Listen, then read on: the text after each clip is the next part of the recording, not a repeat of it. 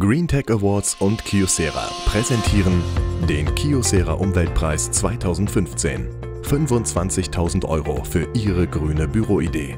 Ich kann sagen, ich reise sehr viel weniger inzwischen für interne Termine. Ich nutze viel stärker die Möglichkeiten von Video- und Online-Konferenzen.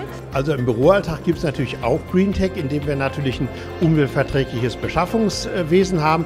Wir fangen also beim Kugelschreiber an bis zu dem Papier, zu den Autos, die wir fahren. Also wir versuchen in allen Bereichen des Unternehmens auch umweltverträglich zu wirken. Also wir selber äh, haben die Agentur für Elektromobilität bei uns im Unternehmen, beziehen selber grünen Strom und sorgen dafür, dass wir äh, das Carsharing-Angebot, was ja in Berlin hervorragend ist, wirklich zu nutzen. Das Thema Nachhaltigkeit ist ein Management-Thema und zwar ein Top-Management-Thema und wir sind alle im Unternehmen angehalten, hier unseren Beitrag zu leisten.